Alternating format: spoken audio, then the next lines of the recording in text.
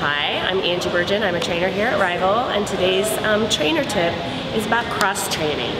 So first of all, I want to talk about what is cross training and why is it important. In a general sense, you've probably heard of cross training being applied to people. If you do lots of different types of activities, you're not sport specific, maybe one day you row, maybe one day you do yoga, one day you're going running, one day you're biking, you're cross training. More specifically, the term actually came from uh, sport-specific athletes.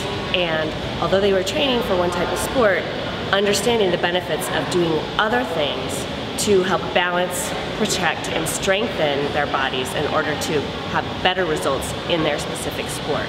The reason why this is really important, right?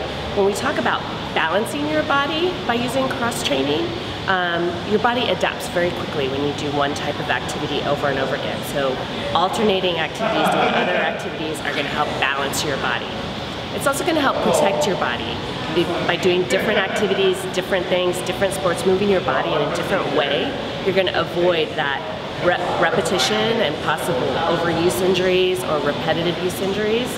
And then we talk about strengthening, right? So doing other activities outside of your primary sport or primary mode of fitness are gonna allow you to strengthen your muscles in different ways, but to give you more power or explosiveness or speed in the actual sport or mode of fitness that you're doing. So think about that. If you're coming to a rowing class, all the time, that's the only thing you do, you want to think about maybe doing some cycling, doing some strength training, something else that are going to make you stronger, better, and faster in uh, the single sport that you're doing right now.